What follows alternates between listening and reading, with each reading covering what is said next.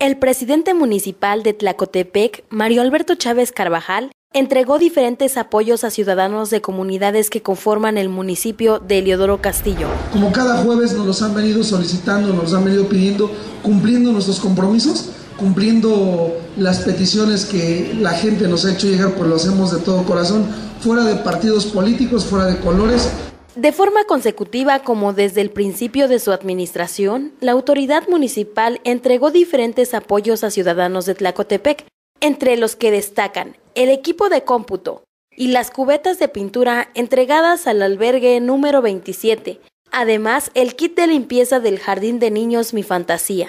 Por otra parte, el mandatario en una gran gira realizada en días pasados por los pueblos que conforman el Filo Mayor, autoridades educativas de la comunidad de Tejamanil solicitaron mobiliario escolar, material que entregó este jueves el edil cierreño. En ese mismo sentido, Chávez Carvajal, en coordinación con el DIF municipal, equipó a la escuela primaria de la localidad de Durazno Oriente con la cocina escolar, requerida para implementar la sana alimentación de los alumnos. Quiero este, darle públicamente aquí las gracias a la señora Laura del Rocío Herrera de Aguirre,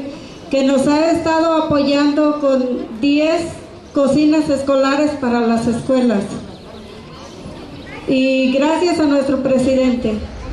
Por otra parte, la señora Lourdes Marcelo Cortés agradeció al alcalde la pronta respuesta a su petición de lámina galvanizada para su vivienda, sin dejar a un lado las necesidades de los grupos religiosos y por ser requerido por ciudadanos de la comunidad de Barrio Nuevo, el mandatario municipal rehabilitó los sanitarios de la iglesia de ese lugar